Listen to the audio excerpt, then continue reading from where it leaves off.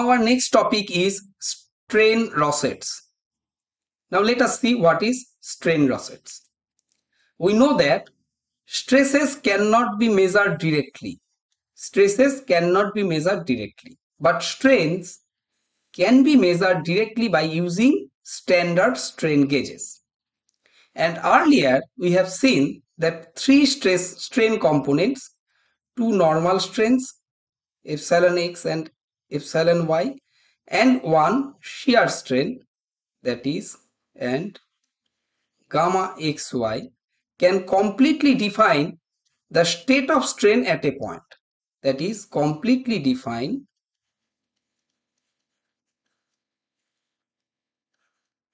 define the state of strain state of strain at a point.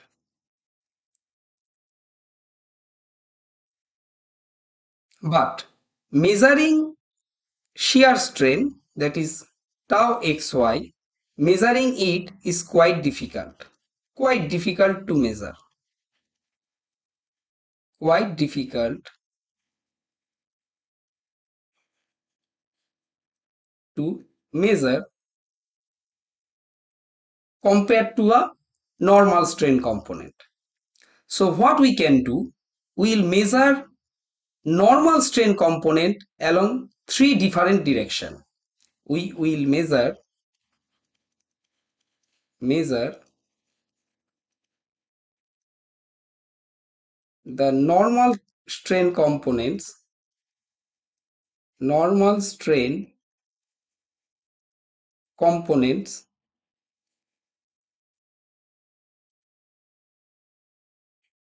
in three different directions. Different directions. And from that, from these three different directions value of normal strain, we can calculate the principal strains. That is, from, from this value, three different directions of strain components, we can determine epsilon max and epsilon min. That is principal strains. And from these two value, from these two value, we can we can calculate principal stresses also that is sigma max and sigma min. So this technique of measuring normal strains, normal strains normal strains in three different direction. These techniques is called strain rosette. So measuring normal strain components in three different directions that techniques is called strain rosette.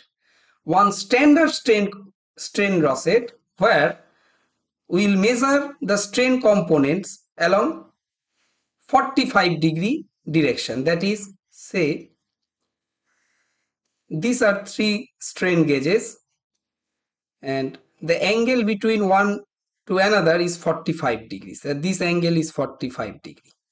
And there is another strain gauge that is also 45 degree. So this arrangement of strain gauges, these are strain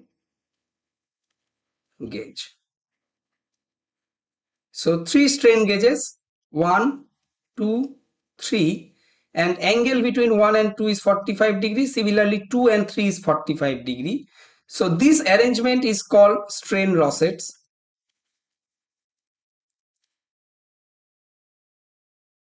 this is called strain rosettes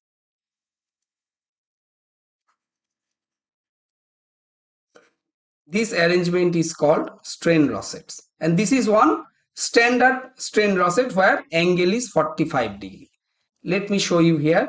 Here angle is 45 degree. And say we get the value here epsilon 0 here epsilon 45 and here epsilon 90 that is along OA strain value is epsilon 0 along O2 strain value is uh, epsilon 45 and along O3 measured value is epsilon 90. Now from these three value, we can draw the Mohr's circle. We can draw the Mohr's circle.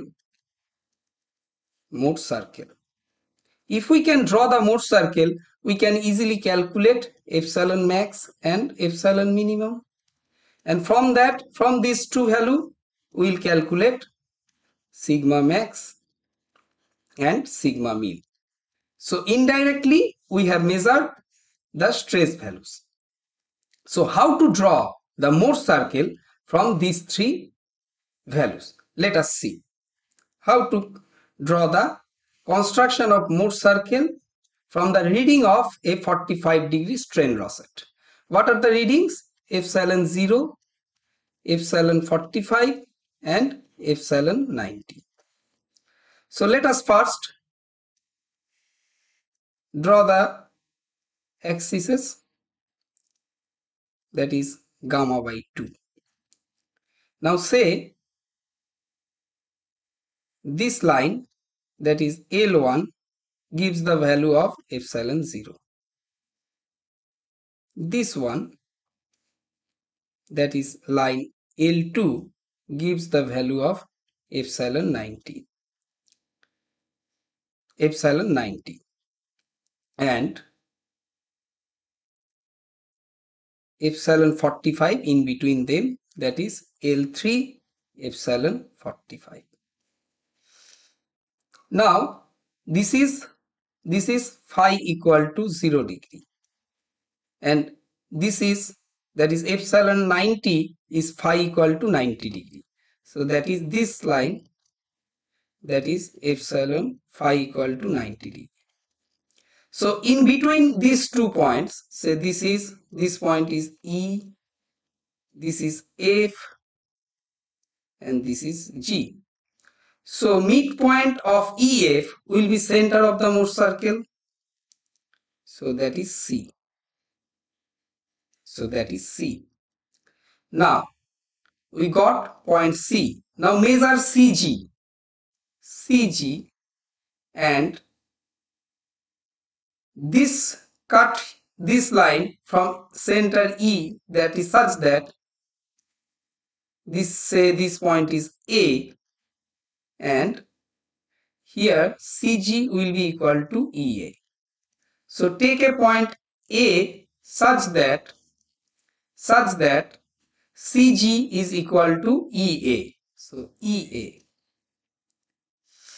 Now join CA and taking radius CA draw the circle. Draw the circle. Taking radius CA draw the circle. Then what happens? Sorry, I am extremely sorry the circle is not appropriate because it should pass through this point also why I will explain later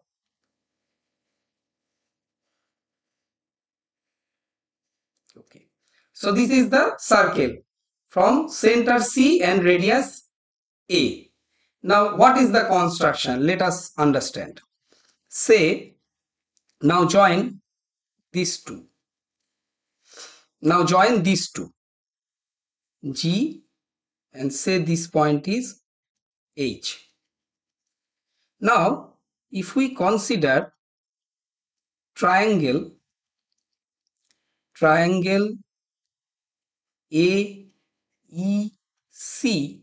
that is this triangle AEC and triangle CGH CGH what we have?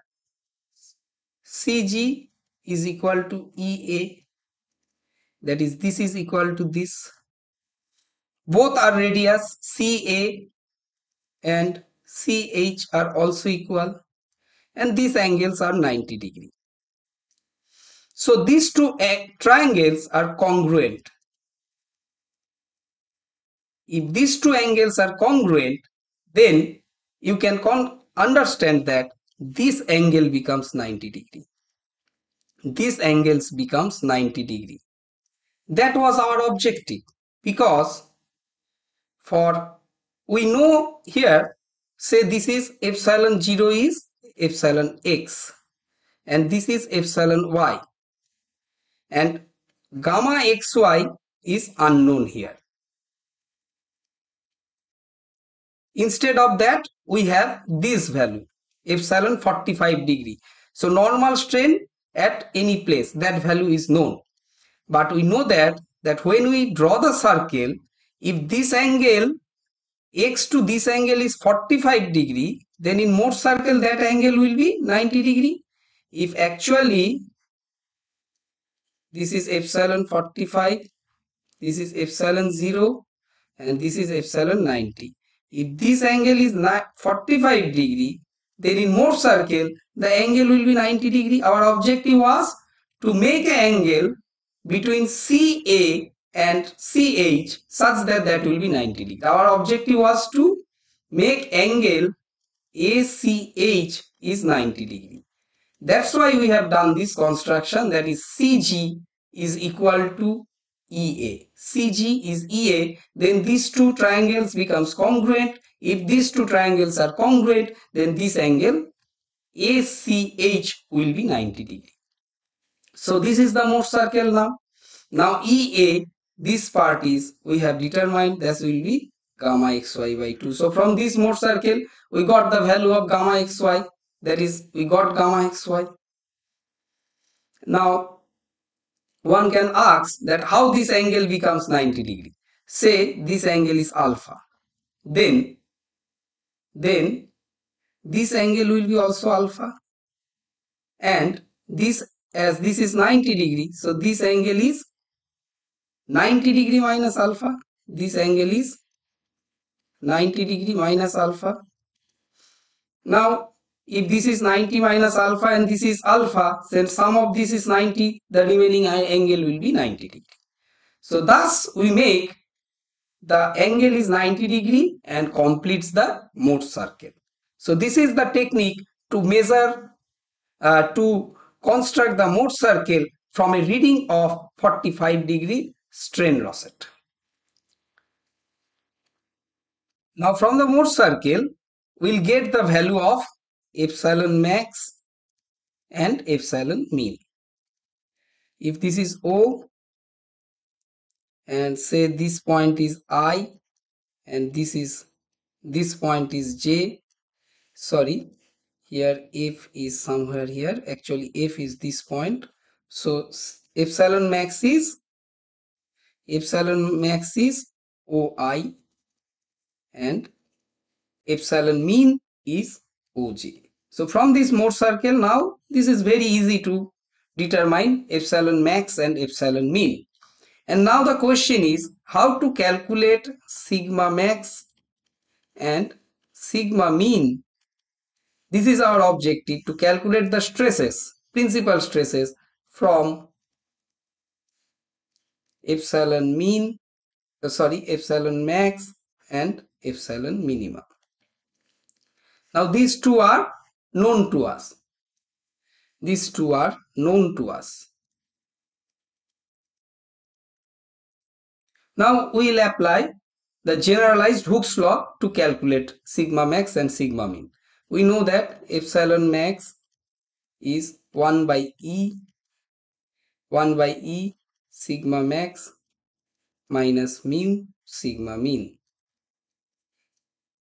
So sigma max from this equation we can write sigma max is E epsilon max plus mu sigma mean and say this is equation 1.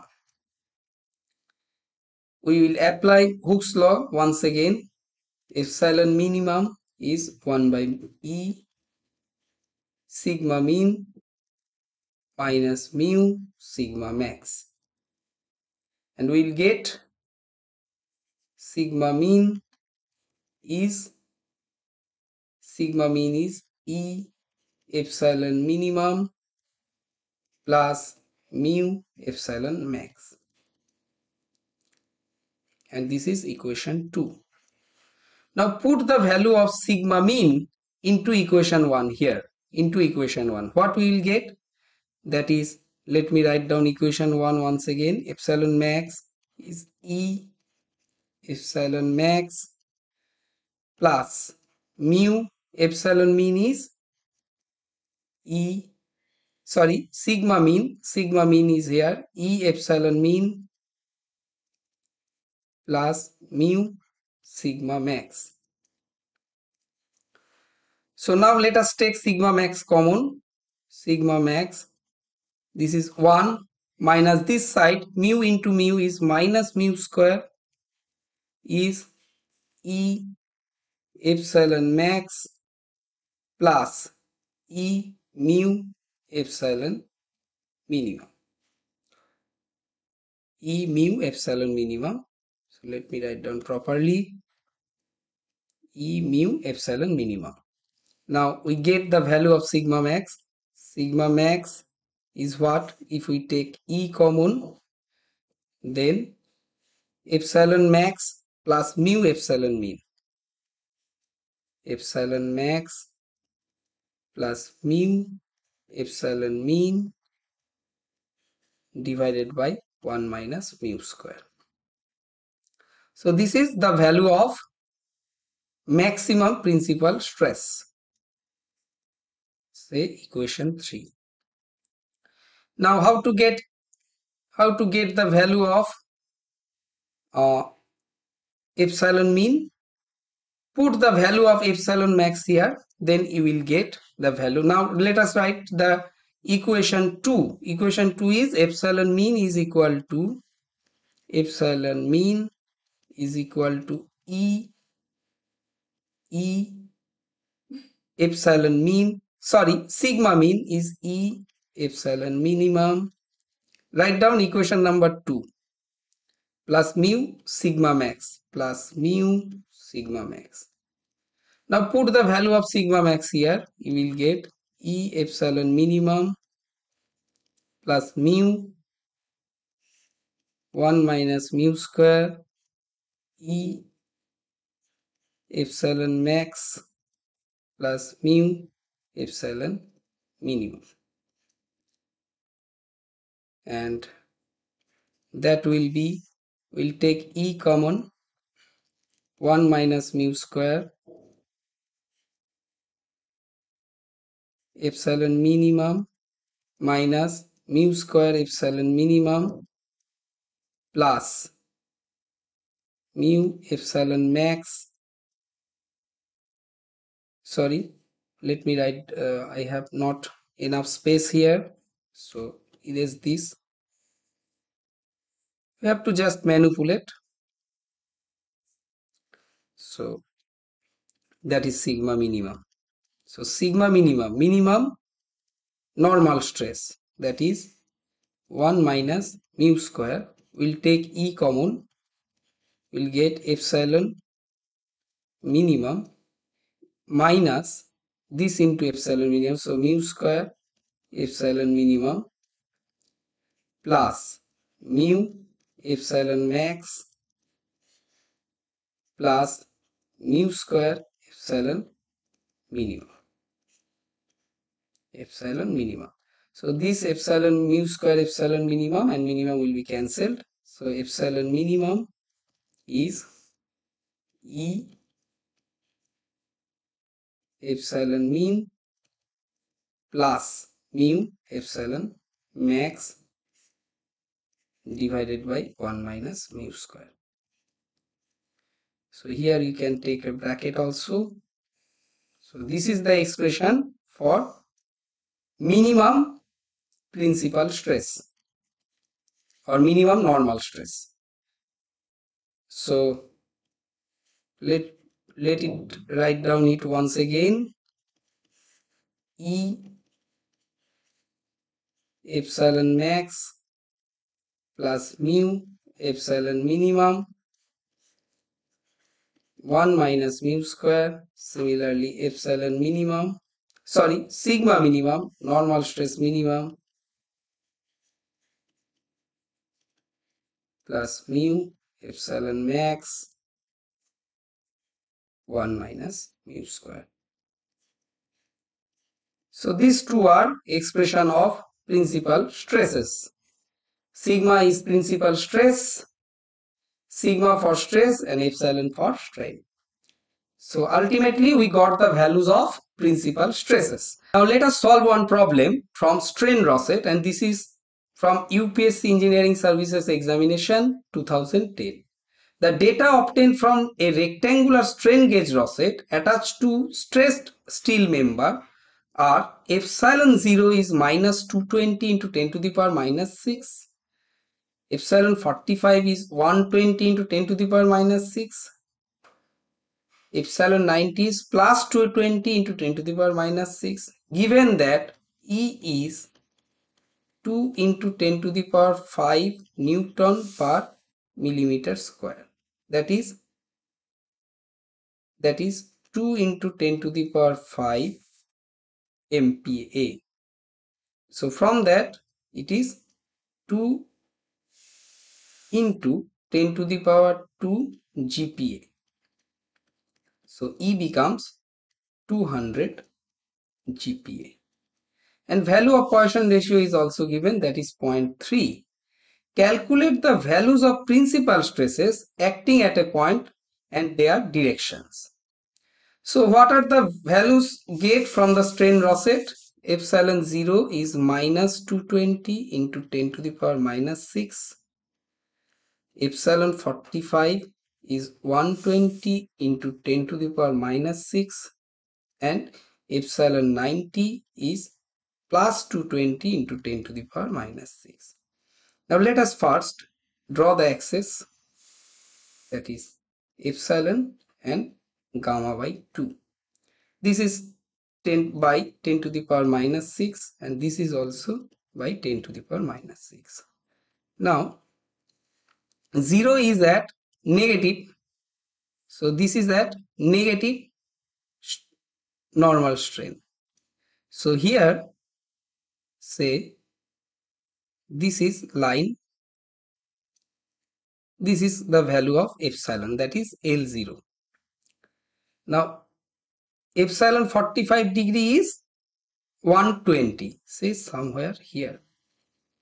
So this is L45 and L90 is somewhere here. This is L90. So this is epsilon 90 and this is epsilon 45. Say this point is E, this point is F and this point is G and this is O. Now what will be the center of the Mohr's circle? Between E and F and E and F is nothing but point O that is 0 0. So now what we have to do? So this is the center also O comma C. O comma C that is the center of the Mohr's circle also.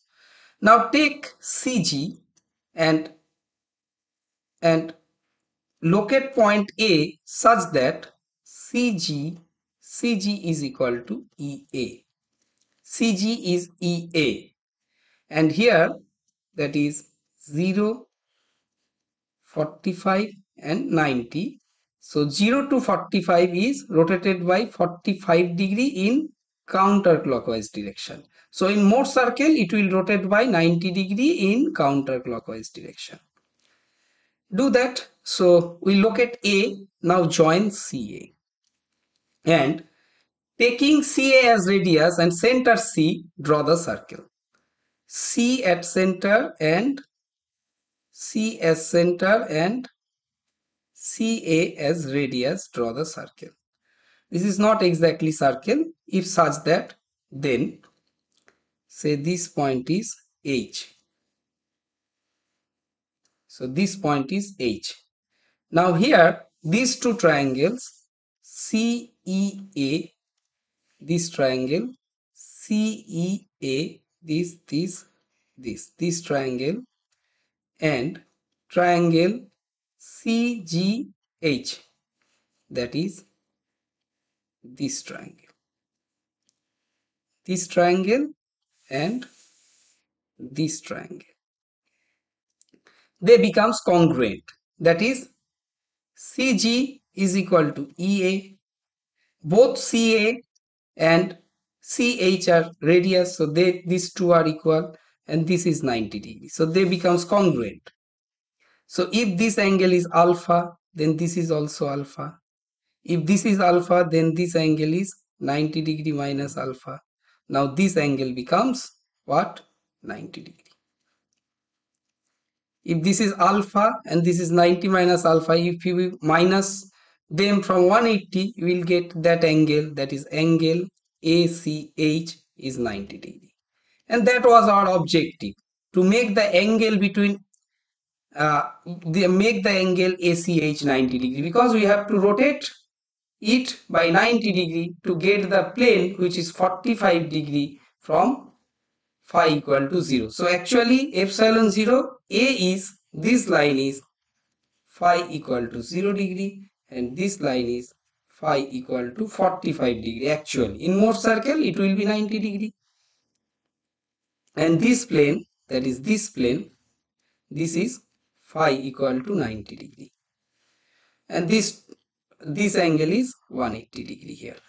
So this is the construction of Mohr's circle. So we have constructed the Mohr's circle. Now what is ea value? Value of ea ea is nothing but gamma xy by 2 so this is gamma xy by 2 and that value that we know cg cg is 120 and cg and ea are same. So gamma xy by 2 is 120 into 10 to the power minus 6 into 10 to the power minus 6.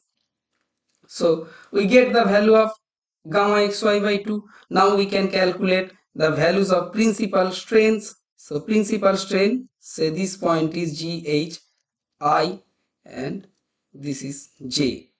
So epsilon max is OI and epsilon minimum is OJ. We can calculate them from the geometry also here from the Mohr's circle and we can another option is we can get them from the formulas as we have got the value of gamma xy by 2. So epsilon max sorry we know the values of epsilon max that will be epsilon x plus epsilon y by 2 plus root over epsilon x minus epsilon y by 2 plus gamma xy by 2 whole square. That is putting the value we'll get max is x is minus 220 plus 220 so this becomes 0. Center becomes 0 plus minus 220 minus 220 by 2. Sorry, this will be a square. There will be a square plus we know the value this directly 120 square. So this becomes 0. This becomes 0 and value of this is 250.6 and already this all having 10 to the power minus 6 so i'm writing here that is 10 to the power minus 6 values of epsilon max. So what is epsilon minimum? Epsilon minimum having only this term. This there will be a minus sign. So 0 minus 250.6 into 10 to the power. I'm not writing here. So 0.6 and that is minus 250 0.6 into 10 to the power minus 6. Now what is sigma max? Sigma max is, we know that E epsilon max plus mu epsilon minimum 1 minus mu square. Now let us put the values that is 200 GPa into 10 to the power 9 epsilon max is epsilon max is 250.6 and epsilon minimum is minus 0.3 into 250.6 both having 10 to the power minus 6 so in taking common 10 to the power minus 6 1.0.3 square so this is the value of sigma max and calculating that we'll get sigma max is 38.56 MPa 38.56 MPa 38.56 MPa now what will be sigma minimum? That is minimum normal stress. E epsilon minimum plus mu epsilon maximum 1 minus mu square. Now put the values 200 into 10 to the power 9 epsilon minimum what is epsilon minimum? Minus 250.6 minus 250.6 plus 0.3 into 250 sorry 250.6 both having minus 10 10 to the power minus 6 terms minus 0.3 whole square. And that gives you minimum. That gives you minus 38.56 MPa so we have calculated principal stresses. What was the problem calculate the values of principal stresses so sigma max is 38.56 MPa and sigma mean we get minus 38.56 MPa. Next is acting at a point and their direction that is direction of principal plane. That can be found from that can be found from Mohr's circle also. That can be found from Mohr's circle also. So here what is the uh, what is the orientation of principal plane? What is principal plane? That is this is principal plane because here strains are maximum so stress will be also maximum and this is phi equal to 0 plane already mentioned. So principal plane is in this direction that is clockwise direction clockwise direction. And this angle is this angle is we know that 2 phi p. So tan of 2 phi p tan of 2 phi p is what? Ea by ea by ce this point is e this is E. So EA by CE. So tan of 2 phi P, tan of 2 phi P is what? EA by CE. EA by CE. What is EA? EA is 120. We know that. What is CE? C2 is 220. C2 is 220. For calculating that 2 phi p is 2 phi p will be 28.61 degree and and this is 2 phi p and another orientation of principal plane that is where minimum strain is acting that is this one. So this plus 180 degree will be there. So we have to add another 180 degree.